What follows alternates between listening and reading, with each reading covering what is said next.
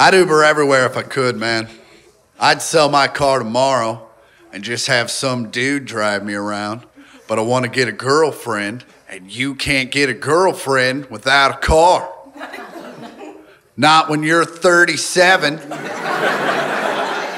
When you're 24, you can pull that off.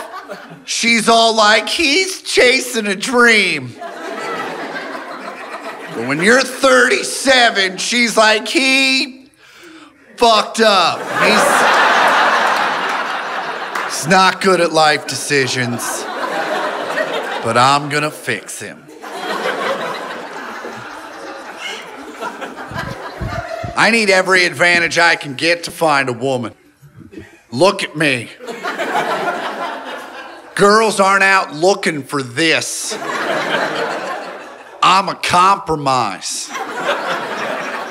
You're gonna have to give up some dreams.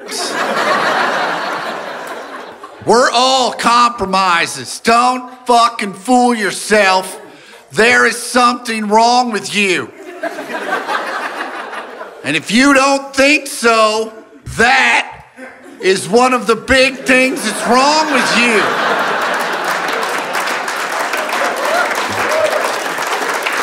Yeah, you're an asshole. We all have dreams about who we're gonna end up with when we're young, and then life kicks you in the balls to the point where you're like fucking close enough.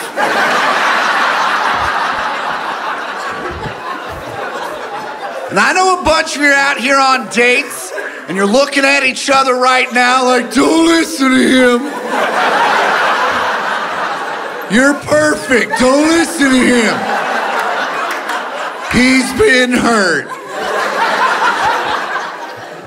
But now I want you to look at all the married people looking at each other like, I know exactly what the fuck's wrong with you. Yeah. I've just chosen to look past it till the kids graduate.